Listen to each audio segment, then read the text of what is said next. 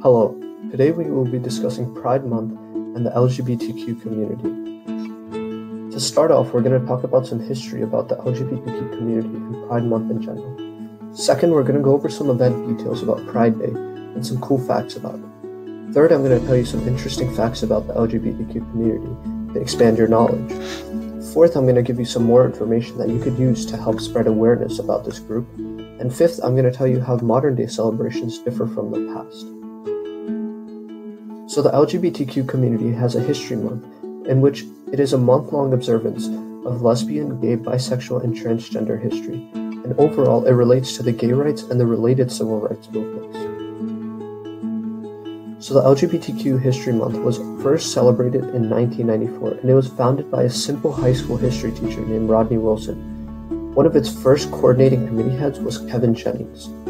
Although this movement did not pick up a large following for multiple years, the founders of this movement were very strong morally and stuck to their roots, and they did not let anything shake them.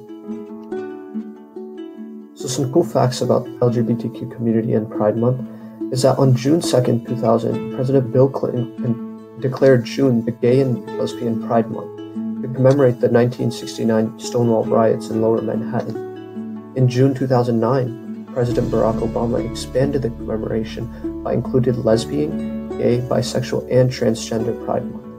And each year, the White House holds a LGBTQ Pride Month Champions of Challenge video, where it explores the stories of unsung heroes and those leaders who are leading our march towards a more perfect union. So, here are five facts that you can use to spread awareness about the LGBTQ community. First, the mother of Pride was a bisexual woman named Brenda Howard.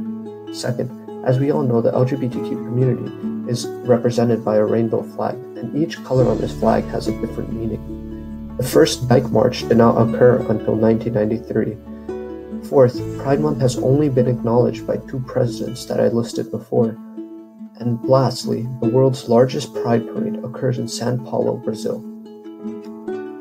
Thank you for listening to this presentation about Pride Month and the LGBTQ community. Hopefully, you learned something valuable so you can also spread awareness.